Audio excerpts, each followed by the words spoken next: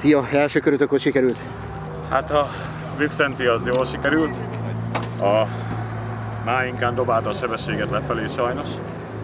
Utána ezeken felbuzdulva még sátán sikerült meg is forognom. Kétszer. Úgyhogy sajnálom. Értem. A második körre mik a tervek? Hát Vixentet megnyomom. Vixentet meg fogom nyomni. Oké, rendben, köszönöm